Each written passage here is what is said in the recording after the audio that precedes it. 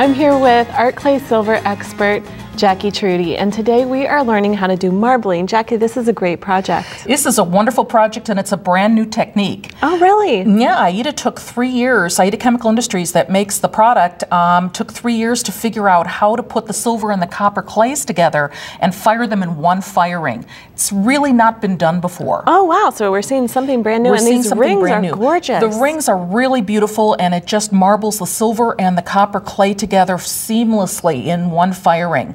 So um, the basic tools are just uh, an underlay and something to roll it on. We have a ring mandrel here because we're making a ring, but if you didn't want to make a ring, you could do a pendant, earrings, whatever you want with the same technique. Okay. And some basic tools. So the first thing we're going to do first is, of course, always with silver clay, you want to get a little bit of release on your hands uh, if you're going to handle the clay.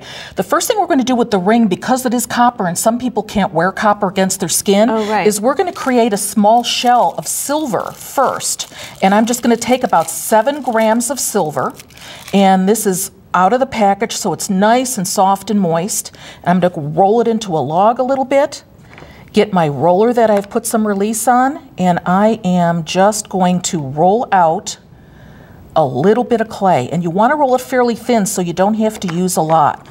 And then I have this clay cutter here, and I'm just going to shorten it just a little bit. So I put it around. And it looks like you wrapped a piece of um, what do you call that? Non-stick yeah, mat there's the non-stick mat around my mandrel, right. So I'm just going to connect that, and I'm not being real fancy with it because we're going to be putting the copper and the um, marbling over that. So I have that here, but what we want to do, instead of drying it, because you're always worried about drying the silver right. clay, we want to keep this moist. So I'm just putting some cling wrap over it to keep it moist. Okay. Now the next step is to get the copper and the silver together. So this is about 15 grams, and you can use any kind of scale to weigh it out. And 15 grams of copper, which is about what this is, and you want to get about seven grams of silver. So you want to make sure this is nice and moist, which this is. It's really important when you're doing the silver to keep it the same softness each one. So if one is harder than the other or drier than the other, you need to add a drop or two of water. Okay, I was it's just going to ask you, what do you do to make it a little bit moister? Yeah, just use water. So just make sure soluble. that they feel about the same in terms of tackiness right. and flexibility. And this is 10 grams and I only need about seven. So I'm going to pinch that off again. You should weigh it. Okay. And now what I'm going to do is get ready to marble it. Get that piece of silver off there. So I'm going to take this 15 grams and just break it in half so that I've got little balls, half and half of the copper, and I'm going to do the same for the silver. So I have a little ball of coppers and little balls of silver. Then I'm going to get a clean piece of cling wrap. And I am going to put one copper and one silver together, and one silver and one copper together. So they're opposite, like a little checkerboard. Got it. Okay? Then I'm going to fold this, and I'm going to start pressing it together so that they become one piece. The more you fold it, the more marbled it is. So there is one. You see how I just folded it once this way. Then I'm going to press again. Wow. It's that simple. Then I'm going to fold it this way from top to bottom. Are you carefully, uh, you know, working around the circle so that you fold? No, I'm just pressing okay. the heck out of it and marbling yeah. it. All right. And again, that was really twice. So if you do it, you should do it between three and five times. All right. And the more you press, the more marbled it is. So I'm going to do it one more time. Okay.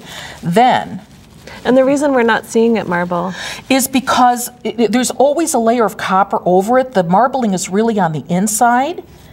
And I will show you how that looks. So now we're going to take this off because now we're ready to put the two together.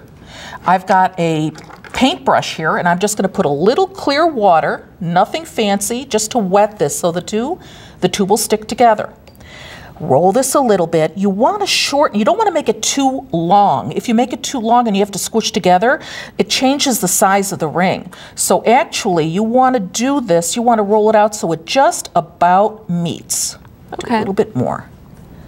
Now with, um, it does shrink a little bit when it's fired, so do you recommend making the ring a size larger? You make the ring a size and a half larger. Okay, size and a and a half larger. And what's really cool is with this particular kind of uh, silver and copper clay together, since they're made by the same manufacturer, they shrink about the same. Oh, okay, great. So you don't have to worry about it. And if this gets too big on the bottom, you just squish it together. It really isn't uh, a precise thing at this point in time. And I'm just getting the silver and the copper together. Then what I'm going to do is make a square. So I'm going to flatten one, go to the other side, flatten that, flatten third side, flatten the fourth side. Push it together a little bit so it's even. And then I'm going to dry it right on the mandrel. Okay, so I'm going to dry it right on the mandrel, and it's going to take a, quite a long time to dry. You've got to make it's sure it's pretty thick. Probably- it's pretty thick. I'd say maybe 40, 45 minutes in something like uh, a hair dryer or um, one of those little mug warmers. If you leave Okay. it out, it's going to take at least a day. All right. So we're going to pretend that that's dry, and I happen to have one here that's the same thing, and that's already in a kind of a square, and it's dry. Okay. Okay, so this is what it looks like. Now, what I wanted to show you, I did this on purpose. You see there's spaces there? You're not supposed to have spaces. So this is what you shouldn't do. It should look like this, where it's really nice and tight against the silver. The next thing you're going to do is you're going to file that. So when you file that, it's going to look like this, and that's where you see the marbling. Oh, this outer file it, it's labor, it- this outer layer of, of copper comes off, and underneath it you will see all this beautiful silver and copper marbling. Wow. Can you do it just a little bit on the Sure. on that one so we can see it come out? Yeah. And then do you reserve the powder or is this something that you throw away? That's a terrific question. You reserve the powder, and all of the powder then you can actually mix with distilled water and make new clay oh, that's Oh, a mixture of the Great. silver and the copper together. So be sure to save all of that. Save everything. And you can see now that the, the silver starts coming out right under that copper layer. So you never want to worry that, oh my gosh, all I see is copper, because the silver's right there. Wow. okay and you save all of this so once you have it you're almost you're almost ready to fire once you have it done you're going to sand it with a little bit i have some 600 and 1200 grit sandpaper so you're going to smooth it because you want it nice and smooth to go into the into the kiln and this is one of the projects you cannot do with a torch You've got to have You a kiln. have to do it in the kiln. You have to have a kiln because of the firing temperature. Because typically when you fire copper, it's above the melting point of silver. So to get these two to melt together, to meld together without alloying them, is, is the secret Japan has come up with. Wow, that's amazing. Yeah, so now you have this, and now what we're going to do is put it on. First, you're going to put it on to a regular board, firing board, and this is just a compressed fiber board that goes in the kiln. This goes in open like this. Okay. And what you have to do first is you have to put it in the kiln and ramp it to 842 degrees. You don't hold it, you just ramp it there. Once it's done, you pull it out right away. And then it's going to look like that. And that is what it looks like when the binder is all burned out and all you have left is the copper, which is turned black, and the silver. Wow, I'm so glad you told me because if I put this in the kiln and took that out, I would be a little nervous. People would panic. yeah. yeah. On the other hand, if it's still brown, you, You have know to it do it isn't again. ready. It's not ready yet. And we'll have all the instructions on the website. The instructions are all going to be there for you to follow and look at. So once you have that, then you let your kiln cool, okay? And the last stage is you take this, and here's a pan. There are many different kinds. Some people use ceramic, some people use small, large. It really doesn't matter, although you may have to tweak your kiln a little bit. Inside is this, and it's activated acid washed carbon.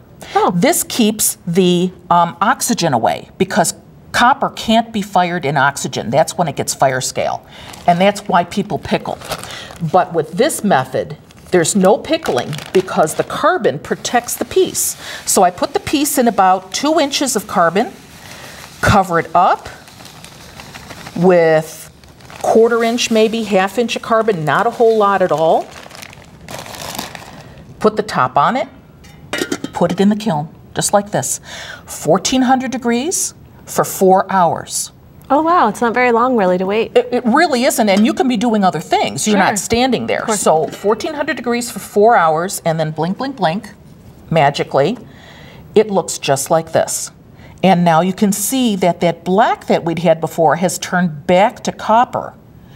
And with a stainless steel brush, get that there, you can see now that you have this Oh, beautiful yeah. copper and silver. And how you polish it is really up to you. You can see in the samples that we have here as I've high polished them. These. Um, various tools. I've used a rotary tool. I've used hand polishing with different grits of sandpaper. Would you ever tumble these? Um, I don't think the tum- you'd have to sand it a little bit first and then tumble it, but I think hand finishing or rotary tool finishing Is the way to go. best for this.